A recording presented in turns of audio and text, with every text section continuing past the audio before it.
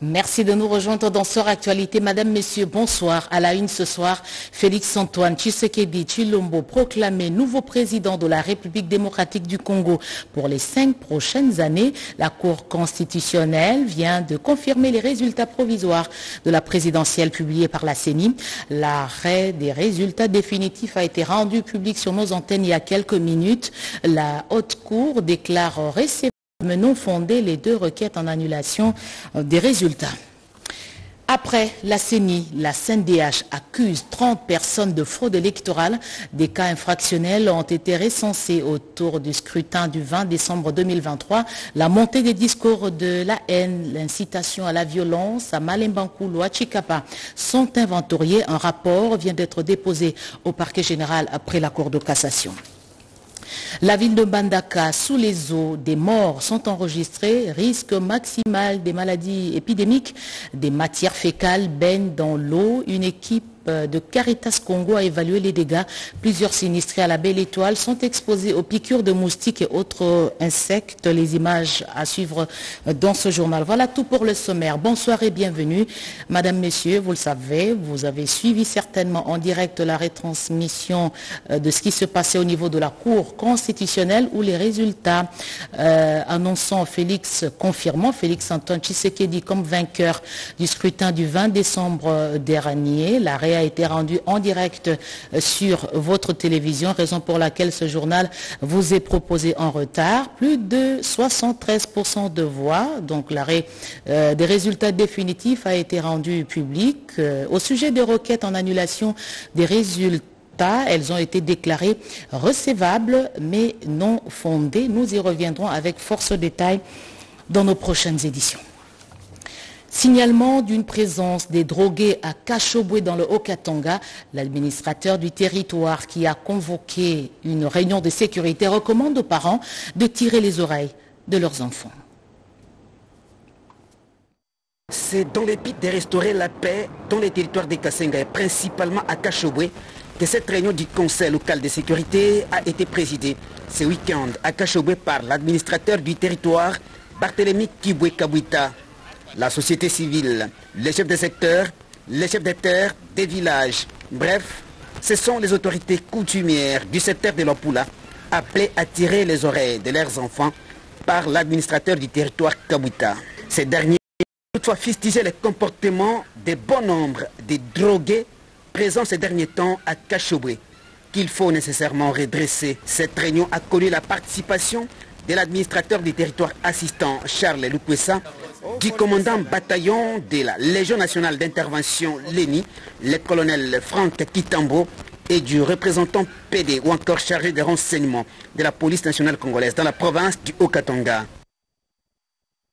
La présence policière à Kachobwe, c'est pour contenir les violences, halte à la victimisation. Précision du porte-parole du gouvernement. Patrick Mouya Katembwe, ministre de la Communication, a réagi sur le plateau d'une télévision privée. On l'écoute c'est que vous dites, vous faites le relais. Vous faites le relais justement. Et c'est dangereux que vous, vous le fassiez.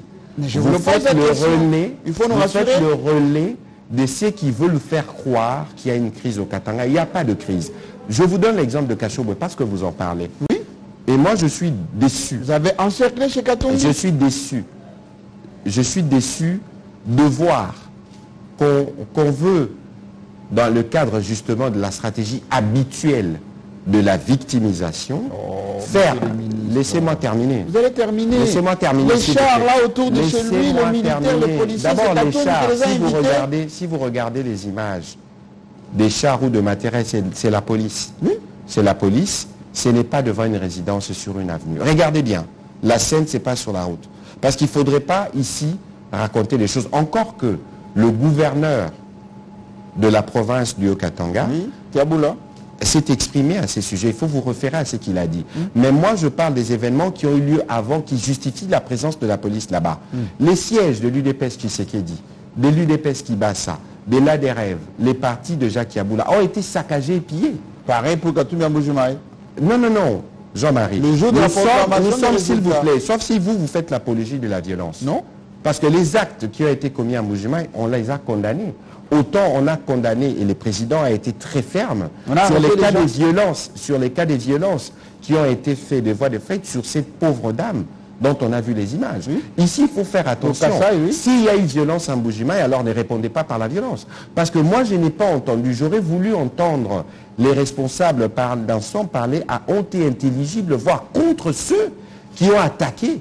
Et donc, si aujourd'hui, il y a beaucoup de policiers qui sont partis à Kachoboué, ils sont partis en intervention pour contenir ceux qui, comme vous, malheureusement, il me semble que vous faites les relais où ça vous plaît de parler. je pose des questions justement, pour que vous des Mais réponses justement, claires. il faut faire très attention, même dans la manière de poser la question, parce que ça risque de faire le lit de ceux qui veulent croire que sur le, Ka- le Katanga, il y a le feu, il y a la crise. Non, il y a des problèmes qui sont connus et pour lesquels il y a des mécanismes pour lesquels nous y travaillons. Et d'ailleurs, le président de la République, dans le cadre de ce nouveau mandat, il passera beaucoup de temps à l'intérieur du pays, pas non pas à réconcilier les communautés, Oui. mais plutôt à régler des problèmes. Parce que pourquoi il y a beaucoup de Kassaïens aujourd'hui au Katanga? C'est des problèmes économiques, il faut les régler.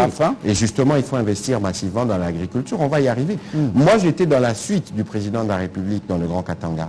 Mais quand on était à Lubumbashi, Likasi ou Kolosi ou à Fungurume, mais le président de la République a dit, en donnant une mise en garde claire, en utilisant un adage, que lorsque vous arrivez dans un coin, vous trouvez les gens danser à droite, danser aussi à droite. Oui.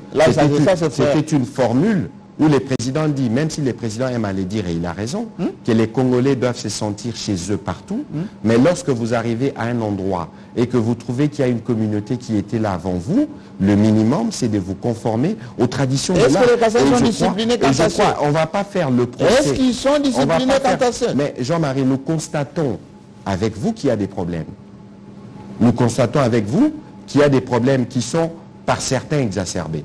Regardez le gouverneur euh, du Haut-Katanga, il, il passe beaucoup de temps à discuter avec les communautés à propos. Ici, on ne fera pas le procès pour dire tel est indiscipliné ou pas, mais ici, on doit rappeler, et le président de la République l'a fait durant la campagne électorale, les respects des traditions, les respects des coutumes que vous trouvez. Les restants des problèmes ne seront pas résolus en une semaine. Il y a déjà les recommandations qui ont été tracées. Il y a le programme de 140 terri- 145 territoires. Il y a des programmes d'agriculture qui vont se développer pour nous assurer que le Congolais, où qu'il se trouve, peut vivre et vivre décemment. Albert Kankenza appelle Corné Nanga à retrouver la voie de la raison et à se repentir. À travers un message vidéo, le pasteur fait une exhortation à celui qu'il appelle son fils. On l'écoute. mon très cher fils Corneille Nanga. Je te lance un appel au retour à la conscience. Parce que tu as malheureusement résolu de rejoindre le mouvement armé RDF bar M23 et en créant un groupe armé dénommé AFC. À ce jour, tu deviens un instrument au service du mal alors que tu avais rendu des loyaux services à cette nation ayant conduit le processus électoral qui a mis en place une alternance pacifique du pouvoir en République démocratique du Congo. De partout tu te trouves, en dessous d'un arbre, dans un trou, dans un véhicule, que sais-je encore, je te recommande de revenir au bon sentiment et à la bonne conscience en abandonnant le chemin de la violence pour la voie de la paix et de la sagesse, comme nous recommande la parole de Dieu. Je prie que ce message retentisse dans le plus profond de ton cœur et que tu n'aies d'autre choix que de faire marche arrière. Quelles que soient tes raisons, je te demande avec tout l'amour d'un père de cesser toute activité rebelle et répands-toi. Car tu n'as pas la bénédiction de Dieu dans cette entreprise et dans cette association. Il y a lieu de trouver des solutions autrement. La CNDH livre les secrets de son monitoring. 30 personnes sont accusées de fraude électorale. Un document a été déposé au parquet général près la Cour de cassation. Monique Mavungu. C'est un rapport complet de plusieurs pages présenté devant les ambassadeurs et corps diplomatiques accrédités en République démocratique du Congo, les experts électoraux et les membres de la société civile par la Ligue des électeurs en présence du président de la Commission nationale des droits de l'homme, Paul Stampumukulu. Un rapport qui a suivi les critères recommandés aux observateurs électoraux qui travaillent pour la promotion du peuple. Les observateurs de la Ligue des électeurs ont répondu à travers la publication de ces rapports aux principes consignés dans le code de conduite d'un observateur. Tout a été vérifié et des recommandations pertinentes formulées. Bravo euh, à la Ligue des électeurs, de très bonnes recommandations qui prennent en compte aussi euh, le nationalisme, puisque aucun État du monde ne peut avoir en son sein des missions qui détruisent ce qu'il y a de plus important, la souveraineté du pays. J'ai le monde entier.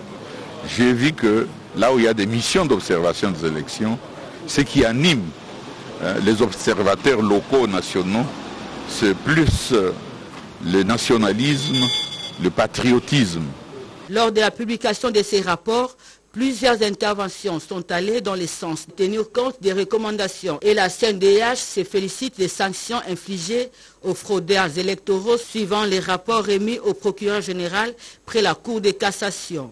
Ce que la fait rentre dans la logique la, de la justice et de l'équité électorale.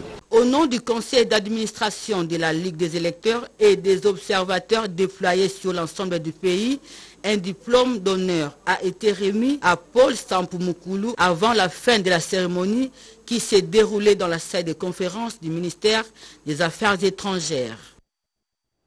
À la une encore ce soir, drame à Mbandaka. Il y a des morts dont on ne connaît pas encore le nombre, témoignent les sinistrés. L'eau charrie les matières fécales. Des familles passent des nuits à la belle étoile. Regardez.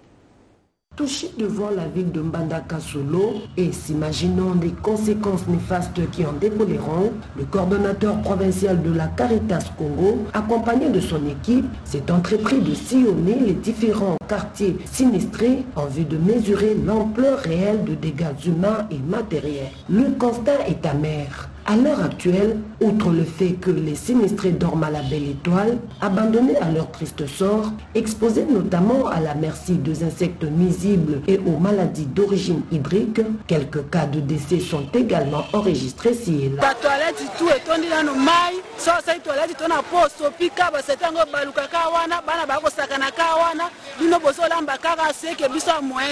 Mais si on a minute ese gouvernement congolais azali wapi? Gouvernement bozwa biso na ndenge nini? toyeba makosuka te alors gouvernement porte biso secours.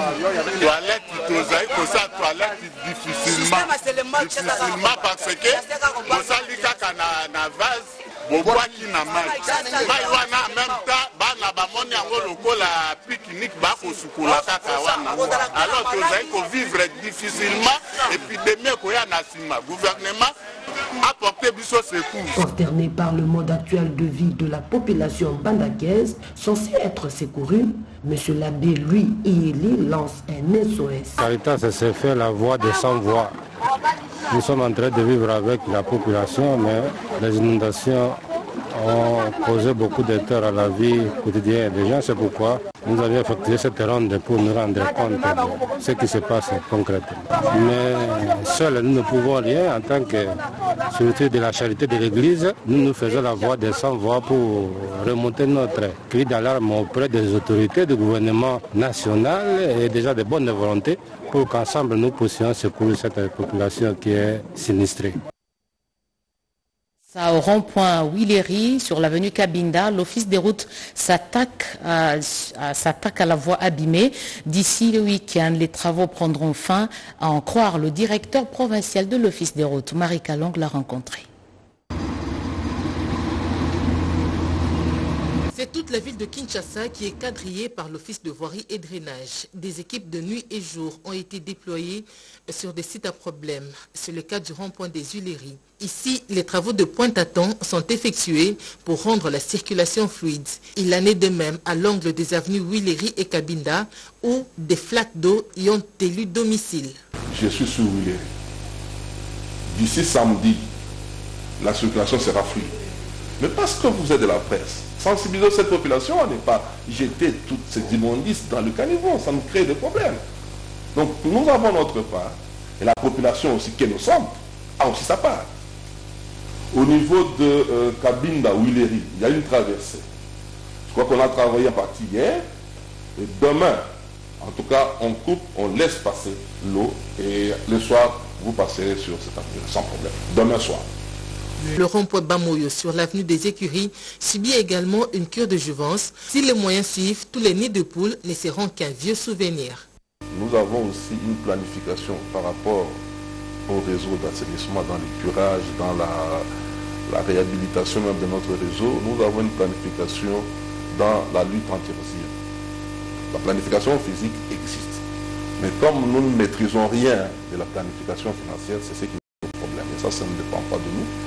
Nous sommes un pays, nous avons un budget, et c'est dans le même panier où on doit servir toutes les provinces. Si nous avons des moyens, on n'attendra pas que les, les, deviennent brillantes pour que nous intervenions. Ça, on ne le jamais. Les avenues du tourisme, Ngouma et bien d'autres figurent au programme de réhabilitation.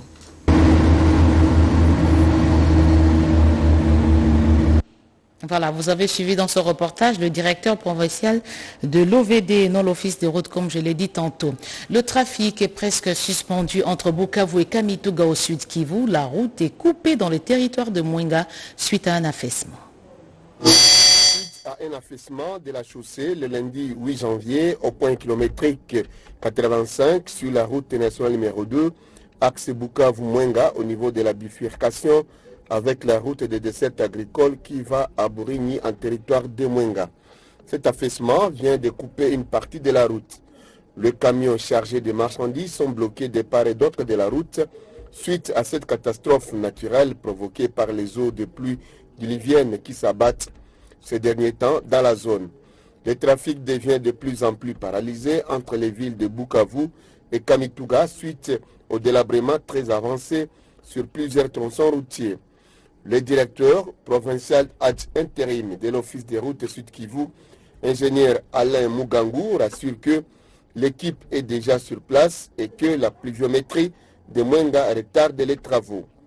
Euh, il y a une partie de la chaussée qui est partie dans le ravin, mais nous avons déjà pris les dispositions avec l'équipe qui est sur place pour aller intervenir et essayer d'agrandir le temps que nous trouvons la solution définitive pour la lutte anti-érosive. Les usagers, les passagers ainsi que la population du territoire de Mwenga lancent un SOS auprès des autorités. Bomoko United, c'est une structure qui soutient la... Voilà, je disais Bomoko United, c'est une structure qui soutient la promotion de la territoriale des non-originaires. L'objectif est de booster le développement des entités territoriales grâce à la décentralisation. Après constatation de la dégradation générale et progressive de la gestion des entités territoriales décentralisées, dont l'exclusivité est réservée aux originaires des provinces, Bomoko United soutient le changement de mode de choix des autorités provinciales non originaires. Une annonce du président national de cette organisation sans but lucratif à la presse, se référant au discours du 30 juin 2023 de Félix Tshisekedi, il propose la loi sur la nomination des gouverneurs originaires et non originaires des provinces, souhaitant une gestion en rotation pour les prochains quinquennats. La décentralisation devait être l'objet du développement réel, réel et de l'union du peuple congolais. Mais sur terrain, nous nous rendons compte que le constat est amer. Il y a des divisions. Vous allez voir, il y a des provinces, et je peux illustrer euh, le mandat passé du président de la République. Il y a cinq ou quatre gouverneurs qui sont passés. Celui-ci vient, il fait six mois, on les chasse. L'autre, il vient, il fait une année, on les chasse.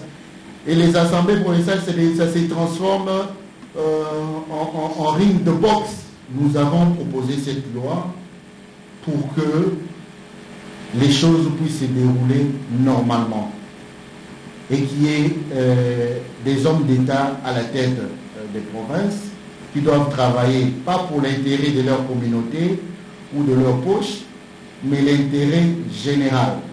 Pour Iris aucune redevabilité ne doit exister entre le gouverneur des provinces et les assemblées provinciales. Iris Baswabou réitère son soutien au deuxième mandat de Félix Tshisekedi afin de matérialiser sa proposition de loi. En sport, la RTNC va diffuser la canne. Ceux qui vont pirater le signal s'exposent à des sanctions sévères. Lorena Telsat, la RTNC et le CESAC ont tenu une réunion pour fixer les esprits Siandema Kanadinyango. La fête du football africain n'est qu'une question des jours.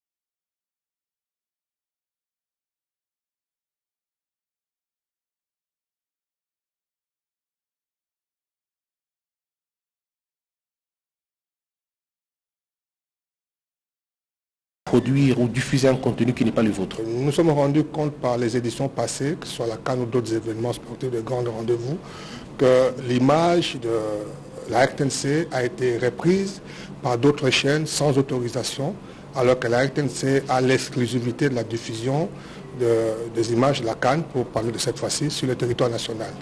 Donc nous n'avons pas seulement le droit de diffusion, exclusive, mais nous avons aussi le droit de protéger cette image de par le contrat que nous avons avec nos, partenaires. Donc nous sommes venus demander la protection du, de CESAC, de sorte que s'il y a des chaînes qui prennent nos images sans notre autorisation, que le CESAC autorise la, le de SAT qui gère les chaînes à débrancher. Sinon, s'il y a des chaînes qui veulent diffuser les images de la Cannes, qu'ils approchent la RTNC, qu'ils écrivent la RTNC et que la RTNC leur fixera les conditions. Le RNATELSAT héberge une centaine de chaînes de télévision au niveau du diffuseur public que nous sommes. Et donc nous devons travailler en synergie avec euh, la RTNC pour justement protéger ce contrat-là qui risque de déranger la diffusion euh, de ce match en République démocratique du Congo et bien entendu déranger à ce que la population congolaise ne puisse pas être gâtée par cette euh, manifestation sportive euh, africaine et mondiale même, je peux dire. Pendant quasiment un mois, les fans congolais du Ballon pourront suivre dans de meilleures conditions sur la RTNC, la Cannes, avec les 24 nations qui vont rivaliser d'ardeur Finance, améliorer le recouvrement des dossiers contentieux à l'importation et à l'exportation et accélérer la mise en œuvre du système de traçabilité des droits d'accise sont les principales recommandations retenues à la réunion du comité technique de suivi-évaluation du contrat de performance entre le ministère des Finances et la DGDA. On fait le point avec Ricky Ndouzilo et Amayawel et Tony Djouma cerner les éléments qui n'ont pas permis l'atteinte des assignations budgétaires. De l'année 2023, au niveau national, provincial et de bureau de douane, le comité technique de suivi-évaluation de la mise en œuvre du contrat des performances entre le ministère des Finances et la DGDA s'y est penché ce mardi 9 janvier 2024. Bernard Kabese Moussangu, directeur général des douanes et assises, a rappelé que pour 2024, sa régie doit mobiliser 6 126 milliards de francs congolais qui traduisent un accroissement de 22,14% par rapport à l'année 2023. Des efforts sont donc à conjuguer pour atteindre les assignations qui comportent des recettes additionnelles de 5,82%. Des recommandations, il faut noter l'amélioration des recouvrement des dossiers contentieux, et l'accélération de la mise en œuvre du système de traçabilité des droits d'accise. Le renforcement des effectifs de la direction des affaires juridiques contentieuses en vue d'accélérer l'instruction des dossiers et disposer des agents de poursuite. La poursuite du déploiement du logiciel GELEC va accélérer l'organisation de la cérémonie de réception de matériel installé, la livraison des matériels de contrôle par le partenaire CIPA, à savoir les téléphones, ainsi que les tablettes, l'adoption du règlement sur la commission paritaire afin de dégager les moyens nécessaires à la poursuite. Pour les contentieux, les directeurs provinciaux ont été instruits de transmettre à la direction générale les dossiers qui ne relèvent pas de leurs compétences. La session ouverte le matin a fermé ses portes le soir. ADEX RDC, c'est le nom d'une entreprise de taillerie de diamants qui compte s'installer incessamment en République démocratique du Congo. Justement, le contour de ce projet ont été discutés au cours d'une séance de travail autour du vice-ministre des Mines, Godard Motemona, réunion à laquelle ont pris part les membres du comité de gestion du CEC, Nadine, Yang, Nadine Futuka et Jenny Dadachabani. La RDC ne va plus exporter le diamant brut. Tous les minerais seront désormais taillés avant l'exportation par la société mixte RDC Suisse de taillerie du diamant ADEX Plateforme AG. Un accord cadre a été signé entre la firme suisse ADEX et le centre d'expertise et d'évaluation et de certification de substances minérales précieuses et semi-précieuses pour la création d'une entreprise mixte dans les secteurs du diamant, dont le représentant de la firme ADEX AG explique l'objectif poursuivi par les deux parties. Créer la société que nous allons appeler ADEX RDC, qui aura pour objectif de vendre sur le marché international aux utilisateurs finaux le diamant de la RDC et pour améliorer même la vente de ce diamant et la taille de ce diamant ici au pays. Le président du conseil d'administration du CEC, Dave Kalemba Kanchama, salue ce projet qui va à coup sûr permettre la traçabilité de ce minerai qui est le diamant en provenance de la RDC. Pour les directeurs généraux du CEC, Freddy que l'expertise avérée de cette firme s'aligne dans la vision du chef de l'État, Félix-Antoine Tshisekedi Chulombo, qui veut que la richesse du Congo profite aux Congolais. Avec le partenaire ADEX Plateforme AG, nous voulons mettre en place un mécanisme pour que la RDC puisse exporter des diamants taillés. Ça sera une première. Et ça, ça cadre avec la vision du chef de l'État, son Excellence Félix Antoine Tshisekedi Chilombo, qui veut que le produit de la RDC soit d'abord euh, un produit fini et qu'il soit vendu euh, dans le marché international. Le vice-ministre de Mines, Godard Motemona, a également rassuré ce partenaire de l'accompagnement de l'État congolais dans la matérialisation de ce projet qui apporte un plus-value tant sur le plan de l'emploi que sur le plan de la maximisation de recettes de l'État dans le secteur de mines. Les pierres précieuses en provenance de la RDC sont trafiquées illégalement depuis plusieurs décennies sur le marché international. Ce partenariat ainsi scellé entre les deux parties engage le CEC dans une lutte sans merci contre la fraude et la vente du diamant de sang qui n'ont que trop duré au prix du sacrifice de la population congolaise. La DGRK sollicite l'accompagnement de la FEC pour le recouvrement des impôts sur les revenus locatifs. Les deux parties se sont retrouvées pour discuter sur la collaboration au dépendant. À travers cette séance de travail entre le directeur général de la DGRK, direction générale des recettes de Kinshasa, Michel Moussaka Maëlenkai et le secrétaire général de la Fédération des entreprises du Congo FEC, John Kono Mouboaloudimine, sur l'échéance fiscale 2024 dénommée la grande échéance de février 2024, la direction générale des recettes de Kinshasa voudrait obtenir la collaboration et l'accompagnement de la FEC pour une facilité dans la collecte et le paiement des impôts fonciers et impôts sur les revenus locatifs de l'exercice 2024 et les revenus locatifs 2023. Les deux partenaires s'accordent d'amplifier la sensibilisation auprès des opérateurs économiques membres de la fête de Kinshasa, la capitale. Nous sommes venus parler de l'échéance fiscale du 1er février 2024. Et c'est dans le cadre de la collaboration qui existe entre la FEC, la ville de Kinshasa et la Direction générale des recettes de Kinshasa que nous sommes là pour sensibiliser davantage les membres de la FEC qui sont très bien informés que nous sommes déjà en pleine grande échéance fiscale de l'impôt foncier et de l'impôt sur les revenus locatifs. Nous restons ouverts à la FEC, de sorte que plusieurs matières qui sont traitées soient aussi organisées en termes de matinées fiscales. Et dans les jours qui suivent, il y aura une matinée fiscale ici à la FEC où nous allons encore recevoir les entreprises membres de la FEC. Le numéro 1 de la DGRK a saisi l'occasion pour annoncer et rappeler les trois arrêtés du ministre provincial des Finances de Kinshasa concernant les impôts, notamment celui du 7 décembre 2023 sur le taux de l'impôt pour les revenus locatifs, celui portant modalité de perception de l'impôt des indemnités de logement des rémunérés et un autre de la même date sur le taux de l'impôt pour la superficie des propriétés foncières bâties et non bâties dans la ville de Kinshasa. Cette initiative du directeur général Michel Moussaka de la A été bien saluée par le secrétaire général de la FEC, John Kono. La presse locale y est associée pour en assurer la pleine vulgarisation en vue de développer la culture fiscale dans les comportements des Quinoises et Quinois.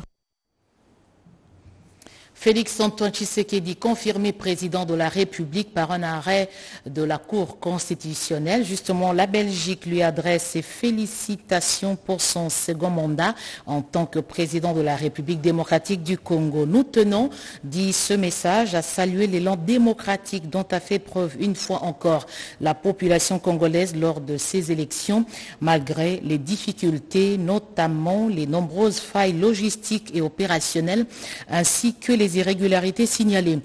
Nous encourageons la Commission électorale nationale indépendante à poursuivre ses investigations et prendre les mesures pour sanctionner les responsables. Il sera important de tirer les leçons de ce quatrième cycle d'élections et de tenir compte des recommandations des rapports définitifs des missions d'observation électorales afin de mener les réformes légales et institutionnelles nécessaires à l'organisation des prochains cycles dans le respect de la Constitution. De nombreux défis attendent le président Tshisekedi au cours de ce second mandat.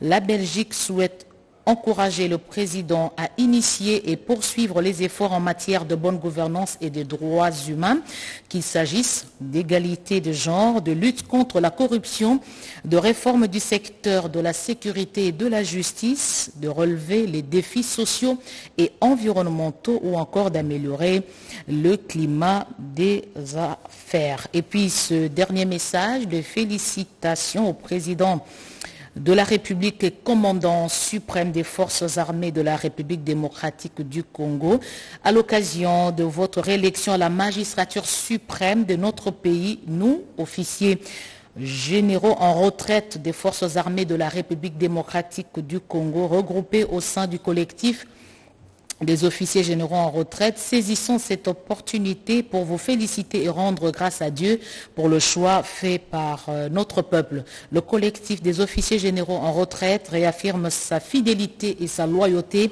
à votre suprême autorité. Le collectif des officiers généraux en retraite reste disponible à vous accompagner dans votre lourde mission pour conduire notre pays vers des lendemains meilleurs. Que Dieu vous bénisse signé pour le collectif des officiers généraux en, retraite, Kpama Baramoto Kata Filemon, général d'armée, sénateur et coordonnateur du collectif. Fin de ce journal, Madame, Messieurs, merci de l'avoir suivi à travers le monde. Retrouvez à 23h Anita Luambois pour un nouveau journal. Merci.